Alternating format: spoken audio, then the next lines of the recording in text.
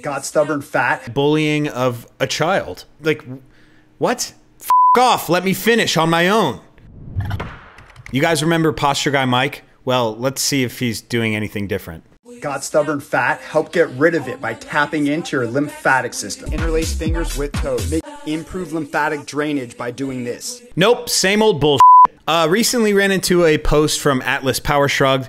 Really good post. I, I like the um, the the nuance here. And basically, he says vegan versus carnivore debates are completely pointless, and to make it easier for the system to control you. Completely pointless is a bold claim, so let's get into that. What's the point of a debate? The hope is that by getting two different perspectives to throw their best arguments at each other, we will actually compare them and come to a better understanding of the actual truth. It's generally assumed that the participants are too invested in their own positions to change their mind, so the goal is to help the audience decide who is more right about what. And there's the problem. There is no audience who is trying to decide should I do vegan or should I do carnivore. That's the general idea behind the post. And I thought that was very interesting.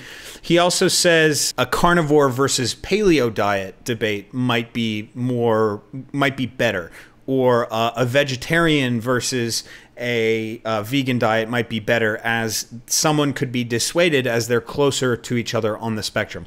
I thought that's an interesting take.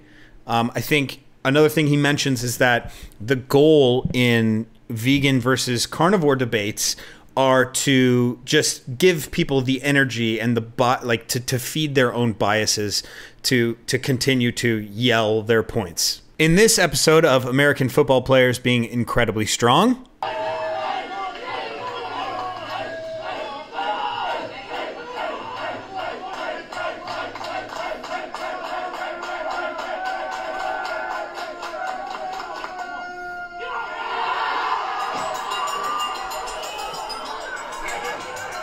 Yeah, 361 pound uh, power clean. Pretty pretty freaking good for someone who doesn't really train weightlifting like a weightlifter would. I'd say the most beautiful thing about that lift is the equipment he's lifting on. But yeah, his start position was good. He might have caught a little bit wide. He made contact with the thigh, gripped and ripped. There's nothing wrong with it. Of course, as you'd expect when things like this cross over to the mainstream, you get ridiculous comments from people that have no idea what they're talking about with all due respect, I did this as a junior in high school, 405 to be exact. So not that exciting. I was 210. Uh, likely you didn't. Highly likely that you didn't. Um, didn't fully lift it, but whatever. Yeah, this person just doesn't know what a clean is. I did 365 in high school, and I held it at the top longer. Just recently, Theo Von was competing in the CrossFit Games semifinals.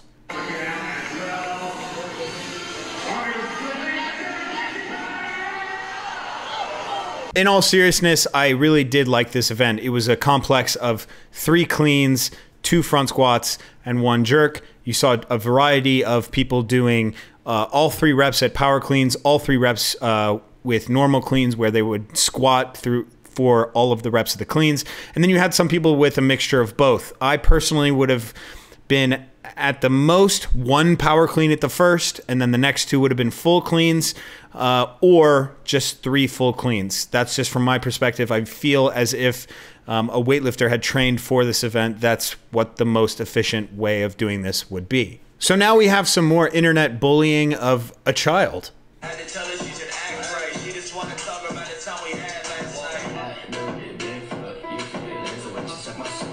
The trophy is more ripped. Bro skipped eat day. Bro skipped milk day. My boy flexing those bones. Look, here's the thing. If kids are in the weight room trying to get stronger and doing bodybuilding training, they should be doing it uh, to get stronger and go be physical, like go play sports. They shouldn't be doing it for vanity. So, right away, I would say get this kid out of bodybuilding competitions. Like, that's all it's about is vanity. It's the last thing kids need. But regardless, like people ripping on a child for not like what?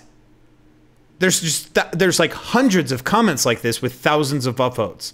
Like what, who would think that? I was sent this video and the person who sent it said this is the world's sleepiest weightlifter.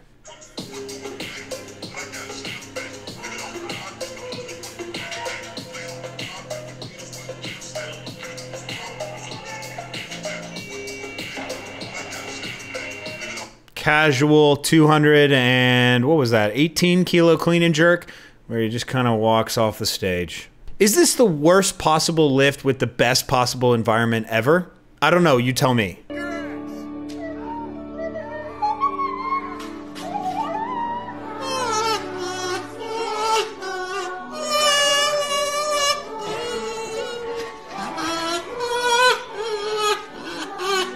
Honestly, I love the fact that the two they got video of the two dudes dapping each other up. Like, I don't know. I still I just. All right, next video.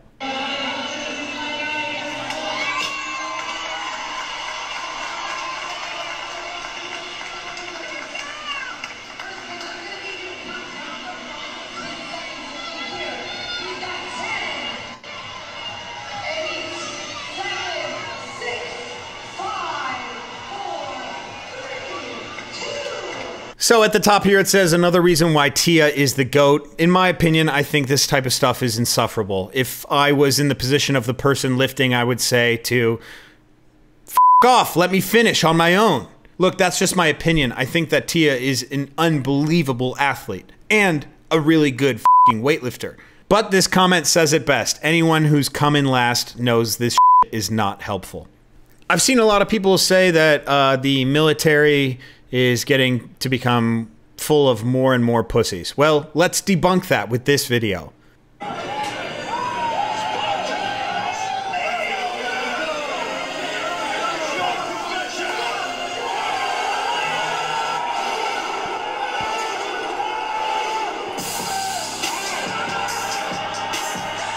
Six eighty deadlift, serious grind, but that is some serious strength. Anyways, I hope you guys liked this video, a little bit of a different format. If you guys have any videos on the internet that you want me to mention in here, post them to my subreddit or DM them to me. I might see them, save them, and make a YouTube video on it. I'll see you in the next video.